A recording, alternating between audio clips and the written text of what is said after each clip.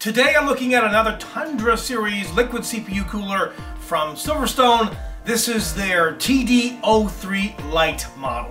The box isn't out of this world, but it does have pictures of the product on it, plus features and specifications about it. It comes in this environmentally friendly packaging material, but they do have a fairly thick piece of quality styrofoam at the top, and everything has its place, so nothing gets shifted around. Included is a user's manual, the unit itself, which is wrapped in plastic, along with the 120 millimeter fan, and in this box are all of the materials needed for installation on AMD and Intel sockets, plus the screws for mounting the fan on the radiator plus thermal compound and a power adapter for the pump, as well as a 4-pin Y splitter for the fan. Now while some liquid CPU coolers come with the fan or fans already pre-installed, obviously that's not the case here, but thankfully all you need to do is line the fan up and use the included screws. It only takes a minute to mount the fan.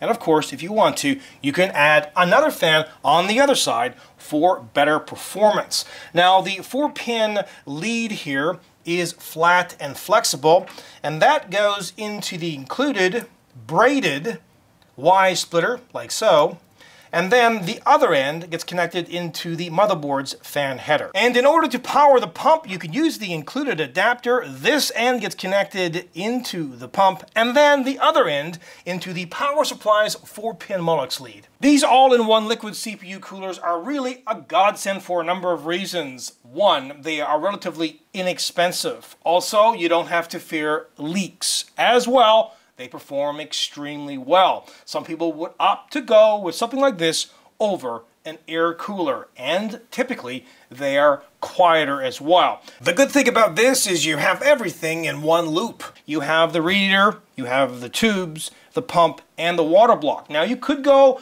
with a traditional water cooling setup and that would be more expensive, but it would give you better performance over this. But this would give you better performance over an air cooler, so you have to weigh your options. Let's first start with the aluminum radiator. It measures in at 153 millimeters long by 120 millimeters wide by 27 millimeters high. And as you can see, there are four screw holes. So you can either mount this directly to the case or you could add another fan and then mount it directly to the case. Either way, you've got options. The fan measures in at 120 by 120 by 25 millimeters. The speed is from 1500 all the way up to 2500 RPMs. Remember, this is a PWM fan. The noise level will vary as well from 18 to 35 decibels and the airflow is 92.5 CFMs. The rated voltage is 12 and the rated current is 0.3 amps. The super rugged but yet very flexible rubber tubes that they include are securely attached to both the radiator and the water block. But note how they're attached to the water block. They actually swivel.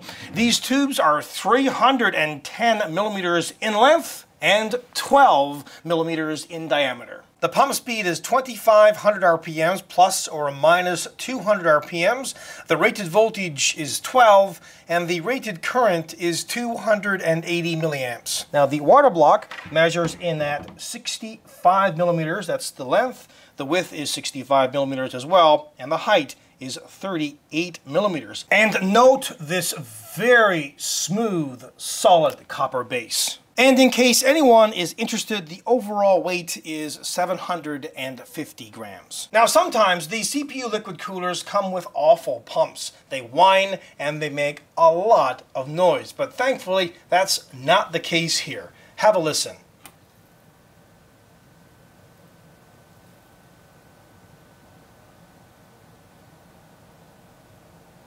Oh, and by the way, note the blue LED at the top.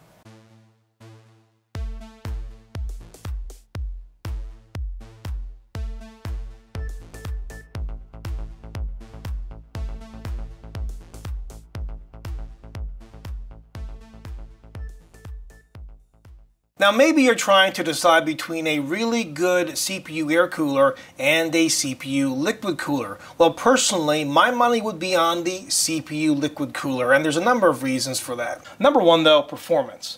looks amazing. As well, you've got less warm air being introduced inside of the case, and generally speaking, it is quieter. This, the TD03 Lite model, does offer a lot of bang for the buck. I think that's what SilverStone is going for with this particular model. Sure, there's other products out there that will outperform it, but it does what it's designed for. Good job. Overall, this is a kick-ass product. Until next time, take care.